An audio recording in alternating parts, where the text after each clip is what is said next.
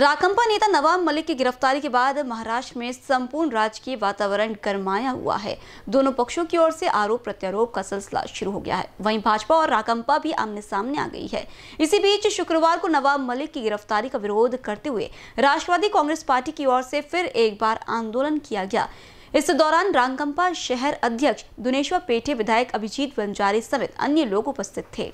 केंद्र सरकार CBI ED का गलत इस्तेमाल कर रही है, ऐसा कहते हुए शहर अध्यक्ष दुनेश्वर पेठे ने कहा कि संपूर्ण राज्य में राकंपा नेता नवाब मलिक की गिरफ्तारी का विरोध किया जा रहा है। वे शुक्रवार को संविधान चौक पर राकंपा द्वारा किए जा रहे आंदोलन के दरमियान बात कर रहे थे।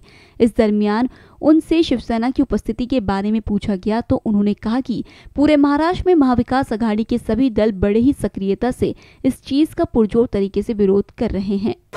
अवघ्या काही वेळातच येणार आहे आणि अख्ख्या महाराष्ट्रामध्ये जे आंदोलनं सुरू आहे त्या आंदोलनामध्ये शिवसेना महाविकास आघाडीचे काँग्रेस आणि जे काही घटक आहेत ते सगळे एकत्र आहेत.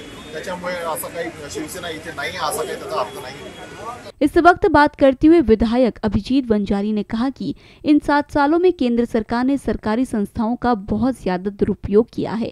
वहीं उन्होंने बताया कि मुंबई में भी इस चीज़ का प्रदर्शन और आंदोलन का जमकर विरोध किया गया।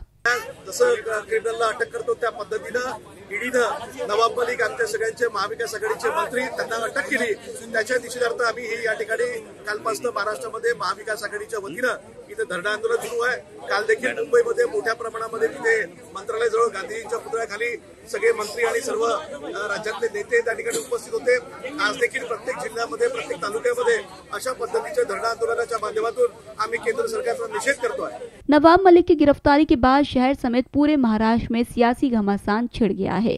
एक और जहाँ भाजपा नवाब मलिक के निष्कासन की बात कर रही है तो वहीं राकंपा महाविकास आघाड़ी के अन्य घटक मलिक की गिरफ्तारी को एक सोची समझी साजिश करार दे रहे हैं। अब आने वाले समय में ये चीज़ किस और रुख लेती है, ये तो देखने वाली बात होगी। कैमरा पर्सन अखिलेश भारद्वाज के साथ दिशा अटवा बीसीएन न्यूज़ नागपुर।